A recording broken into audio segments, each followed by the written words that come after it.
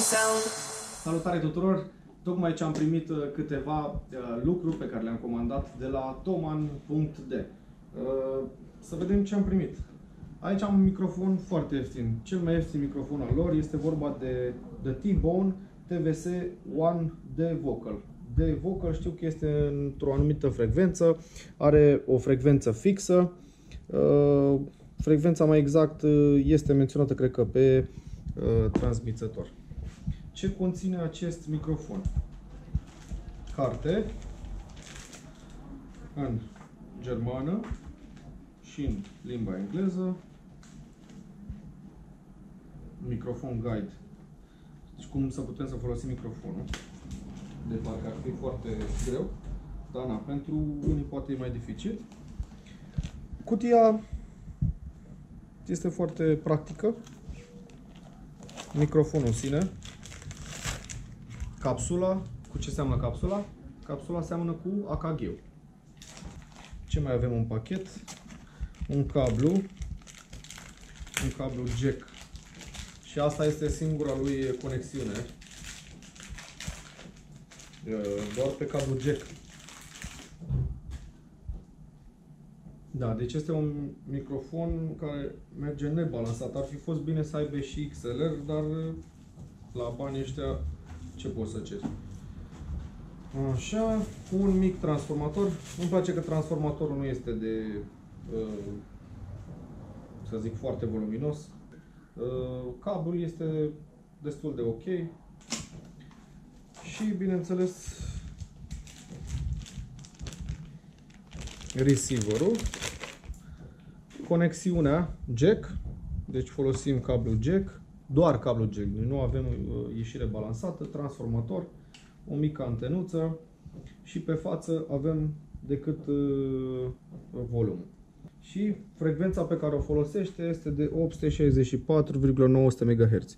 Dar atenție, nu puteți să folosiți decât, adică de vocal. Ia? Hai să vedem și cum funcționează. A sosit și momentul să testăm acest microfon. Este cel mai ieftin microfon pe care puteți să-l luați. Uh, sună destul de ok. Dacă nu aveți pretenții prea mari, nu puteți să-l folosiți la cântat, asta e clar. Poate pe partea de speech, de MC și așa mai departe. Uh, butonul de on-off, din păcate, nu arată LED-ul acesta că este activ. Arată doar când îl stingi, se stinge și se aprinde. Așa, și ne arată aici, deja e conectat, acum este pe flat. Uh, ne arată că avem semnal. Putem să-i dăm și volumul un pic mai mare.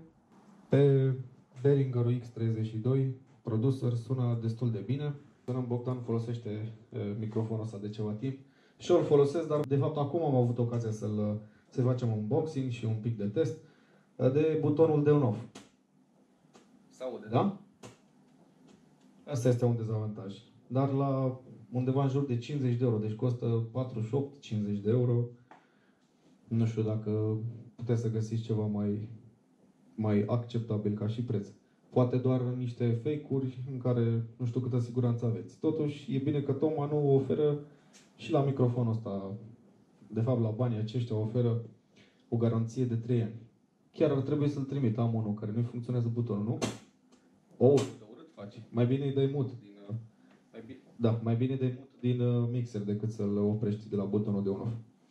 A, dar uh, spuneam că acum este, în, este pe flat, adică nu are nicio corecție. Ia să-l facem un pic să sune mai bine. Să vedem dacă putem să-l facem să sune mai bine. Cum spuneam, un microfon ieftin de la care nu puteți să aveți multe pretenții, doar pentru speech, are bandă fixă. Deci să nu aveți mari așteptări de el. Una peste alta, raport calitate-preț, foarte bun. A venit și rândul frățiorului mai mare, uh, tot produs Toman, de T-Bone, Free Solo HT 1,8 GHz. Sunt curios dacă și dacă nu interferează cu rutere și alte cele, dar cred că îl va ajuta foarte mult că este pe 1,8 și nu este pe 2,4. Așa, să vedem ce conține acest microfon.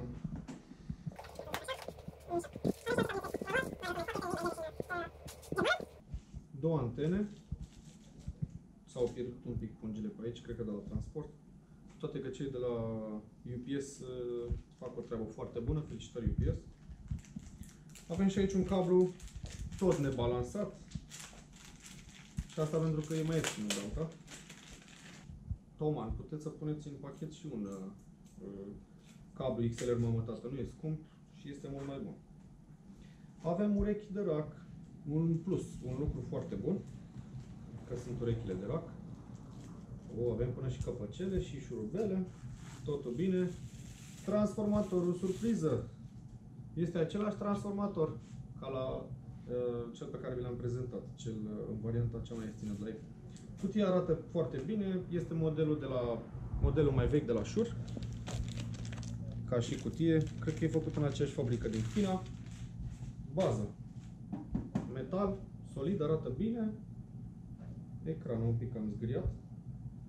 Ar fi trebuit să aibă o folie, cred eu. Așa, antenele pe spate avem uh, transformator. Aici este foarte important că putem să folosim uh, intrare balansată și bineînțeles jack-ul nebalansat, dar ăsta nici nu o să-l folosesc pe microfonul ăsta. Dacă era ca celălalt și nu avea ieșire balansată, uh, foloseam jack. Așa. Sunt curios cum sună și acesta. A, și microfonul sine, că nu l-am...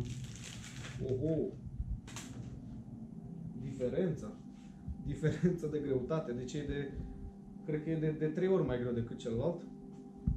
Uh, avem și un afișaj, sunt curios cum metal se aude, altceva. Altă calitate, dar bineînțeles e și un alt preț. Până și aici unde se bagă bateriile, uh, arată că e finisat mult mai bine și plasticul din, din interior este mult mai uh, calitativ.